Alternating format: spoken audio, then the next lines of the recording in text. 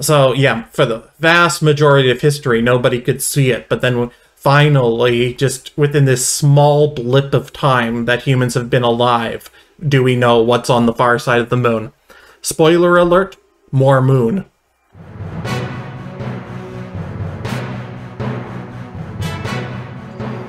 Hello everyone and welcome back to Astrophysicist Plays Outer Wilds. It's been a bit since my last recording, but as I recall, we'd finished up pretty much everything we can do on every planet except for Dark Bramble, and also haven't checked out the Interloper. We also discovered two completely different ways to break reality. So, I was thinking a bit about how to go to, for a third, and you have to use time travel to break reality, and basically, you have to do something to make previous time travel impossible. So, as I see it, theoretically, something as simple as taking out the power cell to the Ash Twin project and then dying might be enough to cause a paradox, because then our memories wouldn't go back. But then thinking a bit further, our memories going back are different every time, and that doesn't cause a paradox, so maybe memories are exempt from this rule.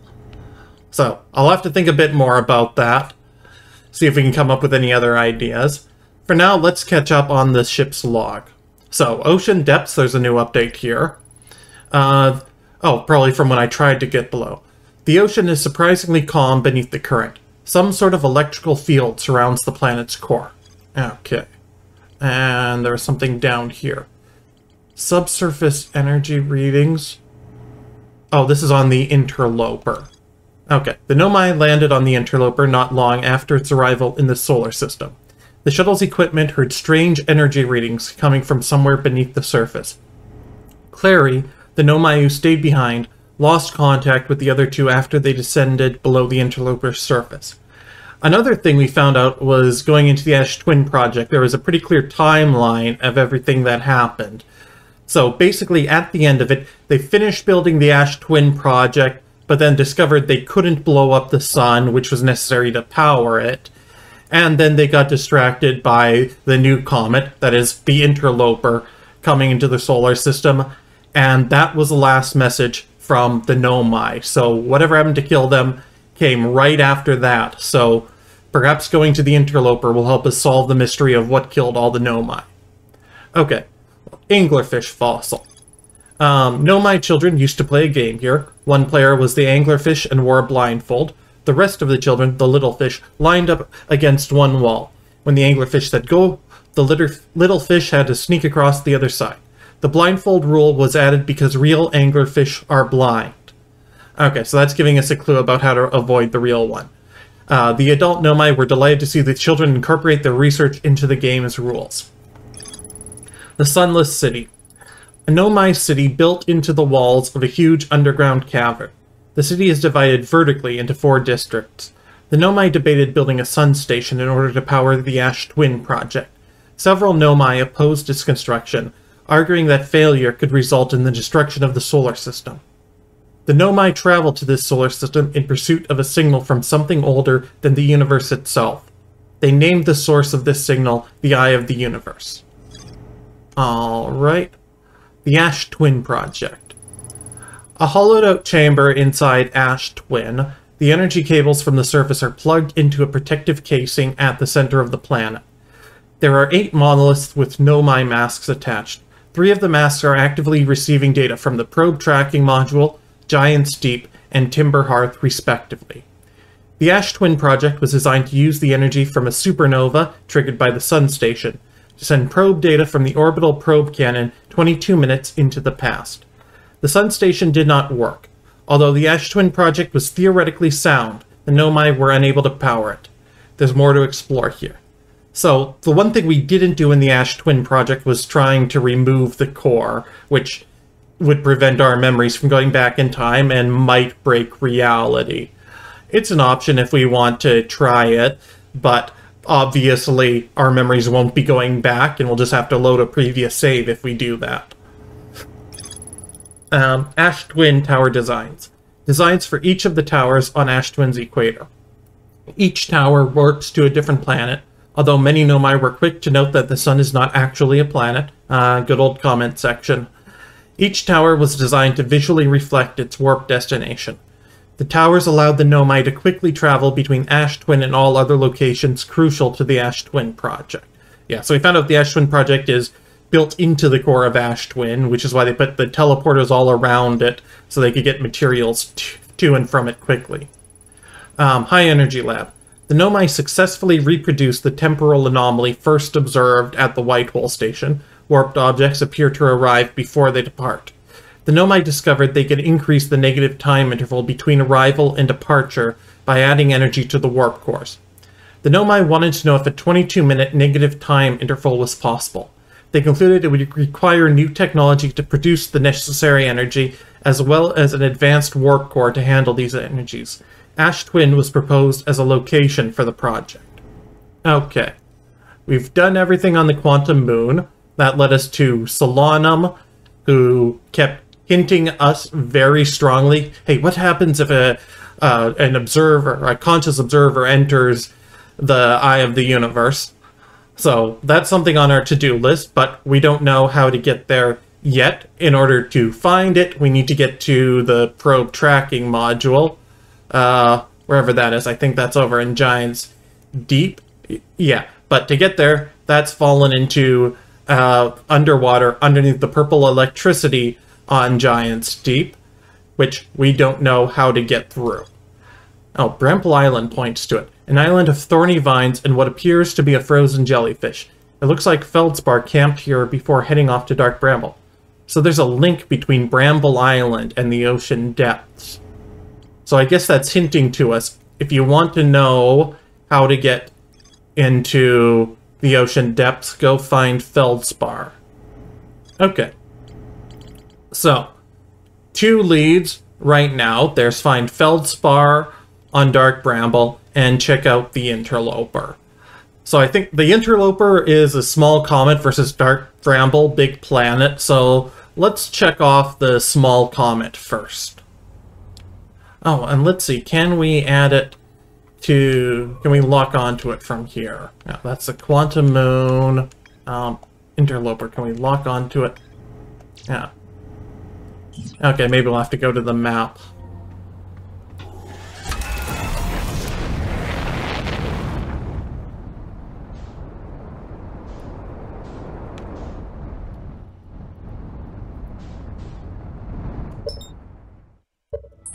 Yeah.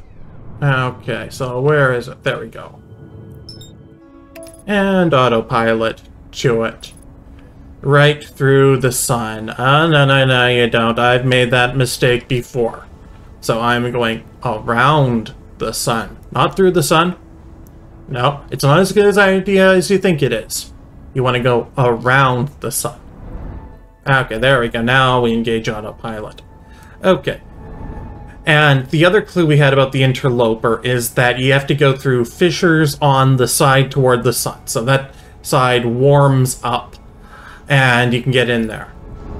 So, little physics note, if you look at the interloper, which direction does the tail of a comet point in reality that is? And the answer is away from the sun because particles get blown off of it and away from the sun.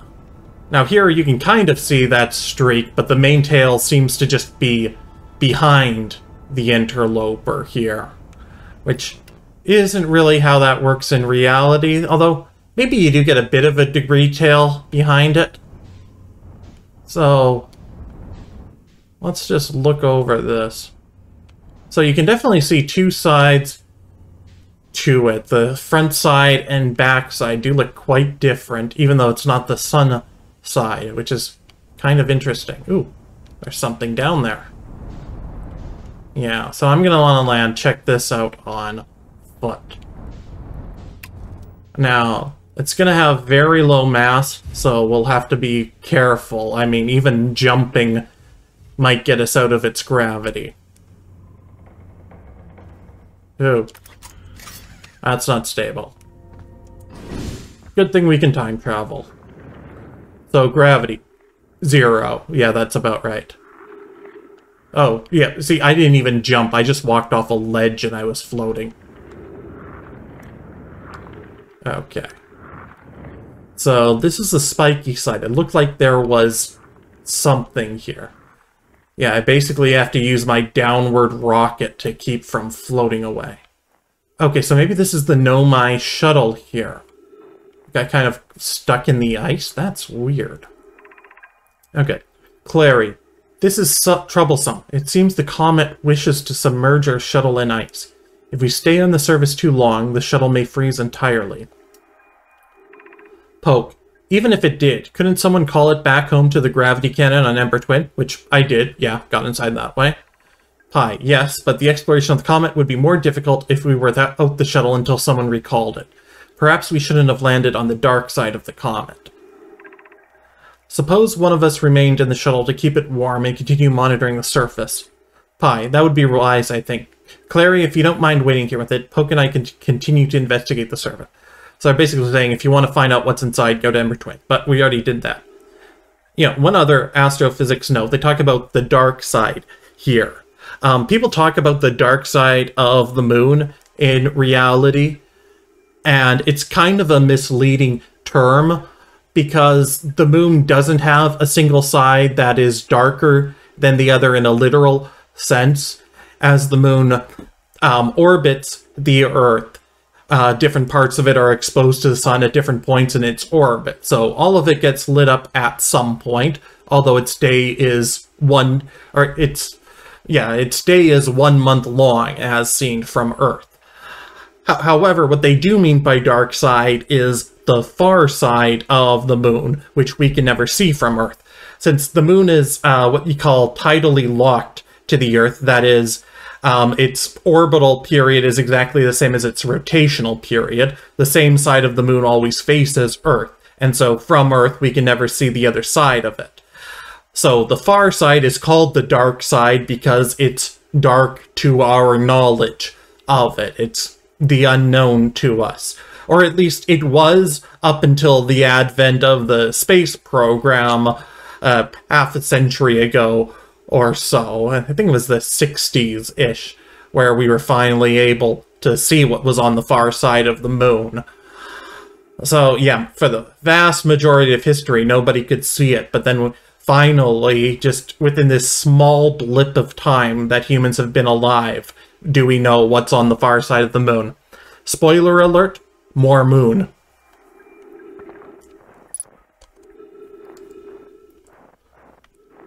Okay, yeah, so I definitely can't get in there. Okay. So, what I want to do now is to go to... Hmm. Well, the other side... Yeah, see, this is me not touching the control stick. Yeah, I'm just sliding. I'm not sure if it's icy or the gravity is so low I'm just falling off. But anyways, I want to go to the sunward side and look for fissures. Oh, yep, this is very sunward. Let's see if we can find a fissure. Oh, there, there's a fissure. I'm getting sucked into the sun. This... Okay. I might have to take another attempt at this. Ugh. I'm not sure if the fissure's still open. Oh. Okay. Oh, wait, something here? Or no. Okay, I'm low health, but I don't exactly want to get out of here. I think I'm just gonna wait until it gets back to the sun, so I'll skip ahead for you all. Okay, I'm just noticing a couple things here. First of all, as I stand here and look up, I'm always seeing the sun wherever the interloper goes, so it seems to be tidally locked too, same side facing the sun. Second thing, which you can see particularly if you look at the map, it has two tails. And I seem to recall actually hearing something like that in reality, that comets do have two tails. Let me look that up while I'm waiting and see if I can figure out what what's actually going on there, because this could actually be correct. Okay, yeah, I was right. Comets do have two tails. One's a plasma tail made of ionized gas, and a dust tail made of small solid particles. They both point away from the sun, though it could be... What's that? Is that the... Oh, that must be the White Hole Station. Okay.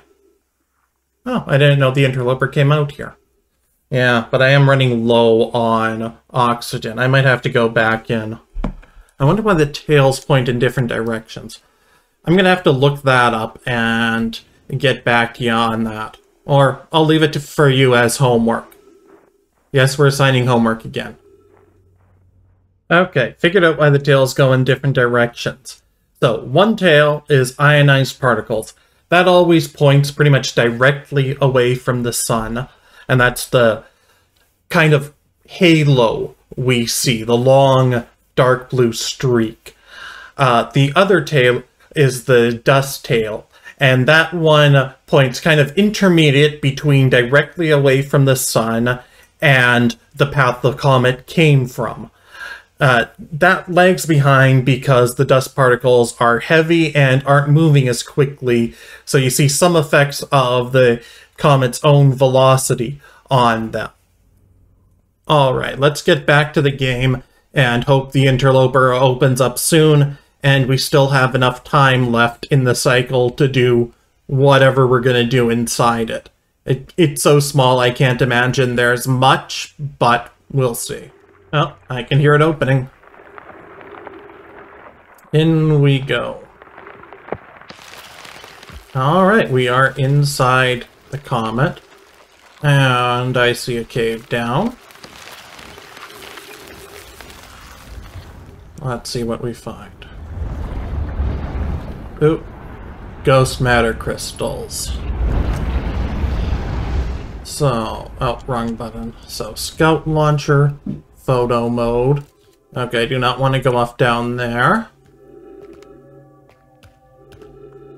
No, footing's a bit more solid here. Ooh, more ghost matter.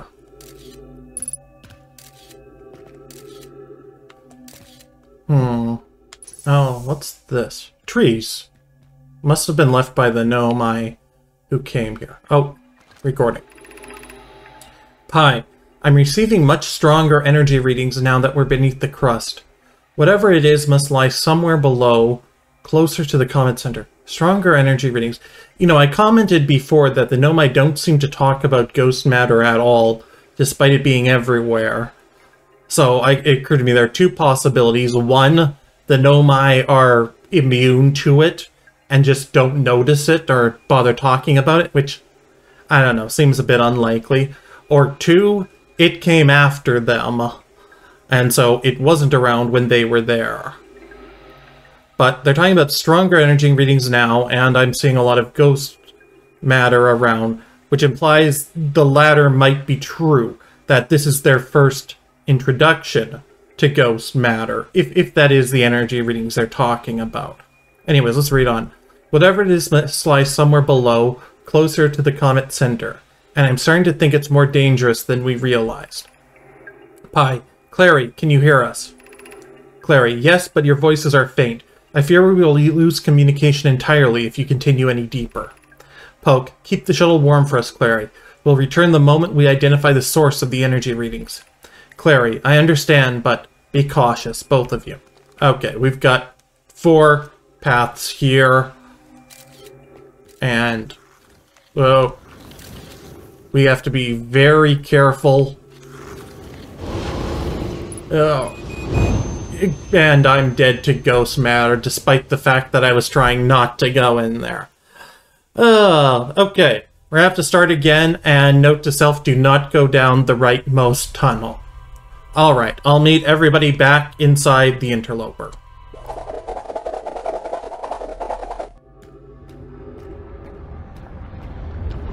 Okay, I'm back again, and I have realized two things. It seems to be the icy floor specifically that's slippery. And two, I can launch a scout to, to look down and see which of these tunnels is safe or not. And it seems the scout slips on the ice. Okay, this one looks safe. Yes, this is the safe tunnel. Well, there might be more than one, but I'm guessing it's just this one. Okay, we are through. No signs of ghost matter. Oh, signs of ghost matter detected. Okay. So, yeah, definitely don't want to go through there. So where else can I go is the question. Huh. Okay. Flashlight on, that might help. So I think I came out through there and do not want to go down there because of ghost matter. Now, ooh, is there something up? Yes, maybe I can go somewhere here.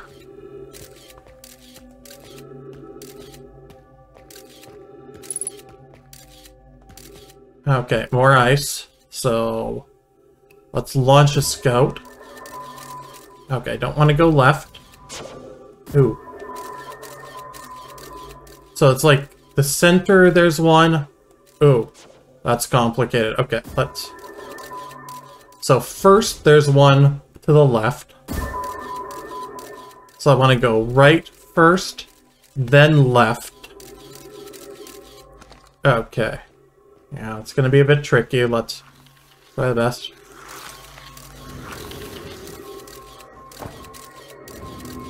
Hopefully that's the last turn. Okay. Yeah. I want to go photo mode. Is that safe? Okay, that is safe.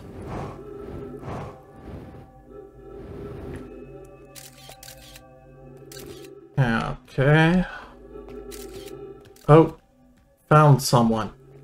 So, they died while investigating the interloper. Hmm. Okay. And can we get through here? Yes, looks like we can. Ooh. Whoa, that is cool.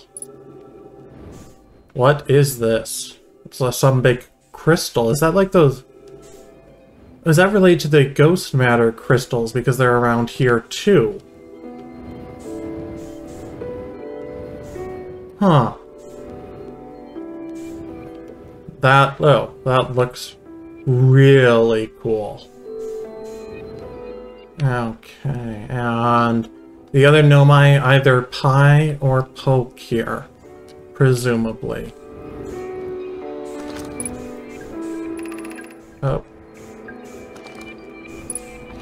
there we go, velocity match. Poke, okay. Hi, Poke. Sorry we had to meet like this. Poke, the spherical stone casing. Doesn't look spherical to me, so that must have changed. Spherical stone casing here seems to be the source of the energy readings. No, rather, the source is what's within the stone. I'm detecting some form of ex exotic matter.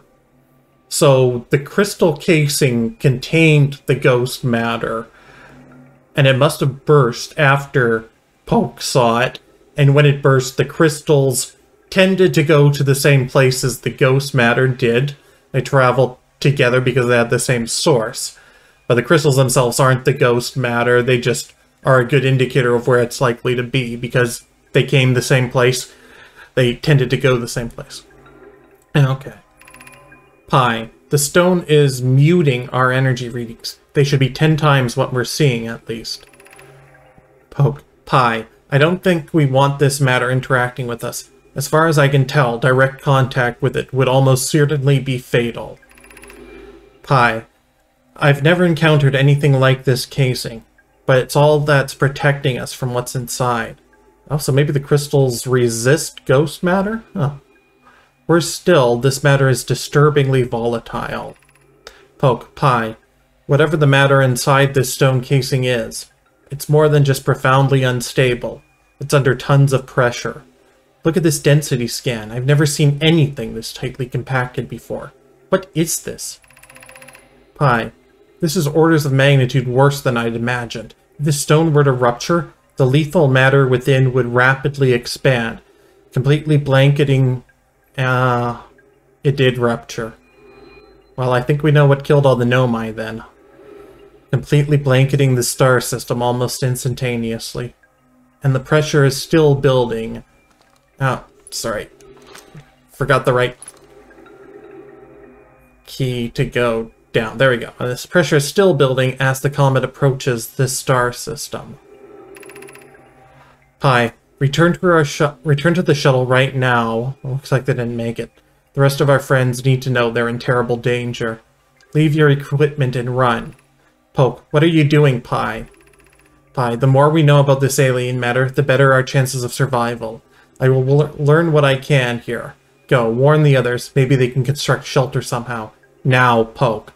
So this is Pye desperately gathering information in hopes it might be helpful, and Poke was just outside and had barely gotten outside this chamber before it ruptured and presumably spread ghost matter all throughout the solar system.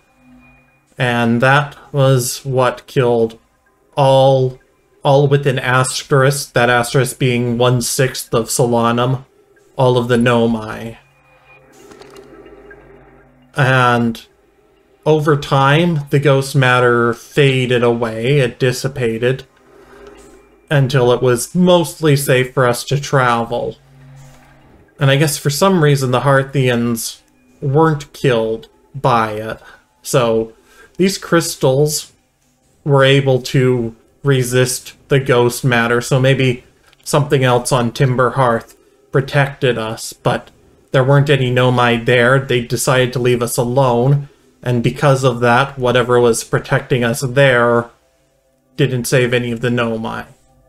Only Solanum, who had one-sixth of herself on the Quantum Moon, was far enough out to survive. Survive-ish. Uh, I suspect that's all to say here. But let's just look around at all these holes and just in case there's anywhere else to go. Even though I, I kind of doubt it. That itself is the biggest dramatic reveal. Yeah, all the big holes I'm seeing. Okay, that's the crack I came in through. And all the other holes seem to be filled with ghost matter still. Oh. Oh, there are two cracks. I don't know which I came in. Let's go through this one, see if there's anything here. Yeah, this, okay, the, eye poke. This is the one I came in through. So there was another crack, I think, which didn't have ghost matter.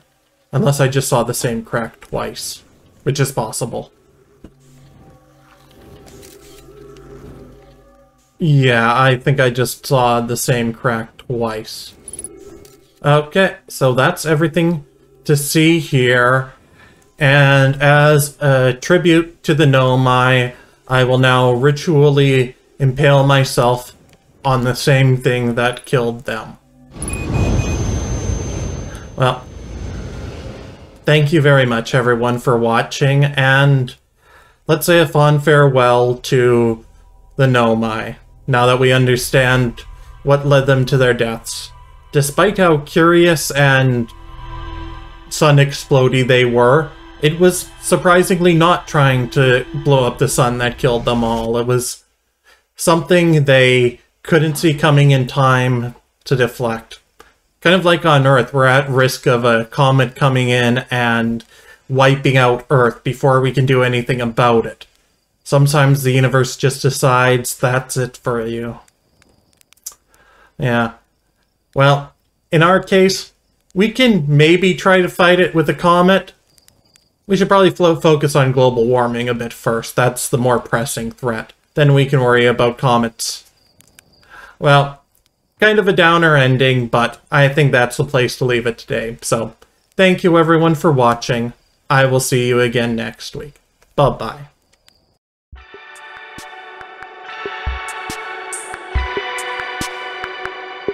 Thank you very much for watching everyone. If you enjoyed this video, please leave a like, subscribe, and click the bell to be sure you get notifications of new uploads. See you again soon.